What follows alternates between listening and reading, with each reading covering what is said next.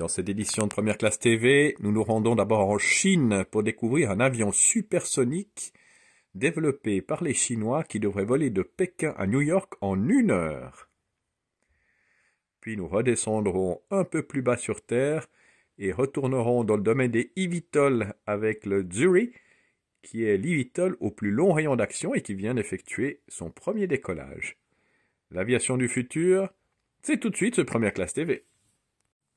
Avec une vitesse de 4200 km à l'heure, l'avion de Space Transportation est conçu pour le vol suborbital ou les voyages de ville en ville partout dans le monde. La société aérospatiale chinoise Space Transportation a déclaré qu'elle développait un avion-fusée qui pourrait être utilisé comme avion d'affaires supersonique pouvant relier n'importe quel point sur Terre. Un vol de Pékin à New York ne prendrait qu'une heure. Une présentation sur le site web de Space Transportation montre des passagers montant à bord d'un avion attaché à une aile de planeur avec deux propulseurs de fusée. L'avion se détache ensuite de l'aile après le décollage et vole dans l'espace suborbital. L'aile et les propulseurs atterrissent ensuite sur la rampe de lancement, tandis que l'avion se dirige vers sa destination, atterrissant verticalement. L'avion fusée aura des coûts opérationnels inférieurs à des fusées transportant des satellites et sera plus rapide qu'un avion traditionnel. SpaceX a introduit un concept similaire en 2017 appelé Earth to Earth qui avait été réutilisé à partir de son BFR conçu à l'origine pour transporter des passagers vers Mars. Earth to Earth avait été conçu comme moyen de transport de passagers de ville à ville à l'aide de fusées Starship. La société n'a publié aucun détail sur le concept depuis lors.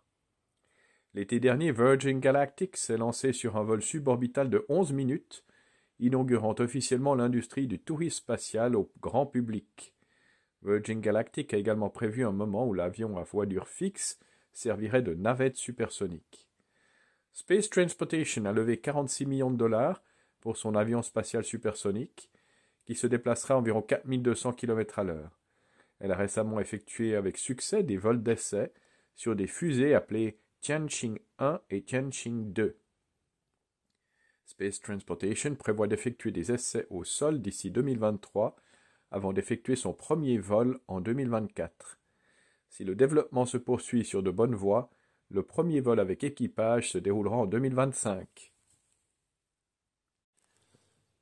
Les avions à décollage et atterrissage verticaux 2.0 de Zuri seront en concurrence avec les jets régionaux conventionnels comme alternative plus rapide et moins coûteuse.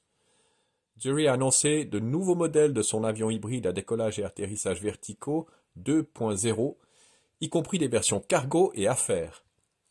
La société basée à Prague prévoit que ces deux modèles serviront comme aéronef de transport aérien régional. L'avion a une autonomie de 700 km grâce à un groupe motopropulseur hybride avec une vitesse croisière de 300 km à l'heure. L'envergure est de 13 mètres avec 8 hélices inclinables pour le décollage et l'atterrissage verticaux, ainsi que le vol horizontal. La propulsion hybride associe une turbogénératrice embarquée pour alimenter les 8 moteurs électriques et recharger les batteries au lithium. L'intérieur est conçu pour transporter 4 passagers et un pilote dans le modèle de taxi aérien, avec un modèle VIP pour 3 passagers et un pilote. La société affirme que l'avion sera équipé d'un système de pilotage électrique avec une sauvegarde mécanique pour les commandes. Il offrira également une vision informatisée et des capteurs pour la sécurité. La version 2.0 sera une alternative plus rapide aux jets, aux jets, régionaux. Elle pourra gagner du temps en éliminant le temps de trajet vers l'aéroport. On considère également que l'avion est un moyen efficace d'aller d'île en île plutôt que d'y aller en bateau. Elle prévoit de se concentrer d'abord sur le marché européen, puis sur l'Amérique du Nord. C'est ainsi que se termine cette édition de Première Classe TV. N'oubliez pas de cliquer sur j'aime, de vous abonner, de partager ces vidéos. Nous nous retrouvons la semaine prochaine avec l'avion à hydrogène, avec la transformation d'un ATR qui devient à propulsion hydrogène. L'aviation du futur sur Première Classe TV. À la semaine prochaine.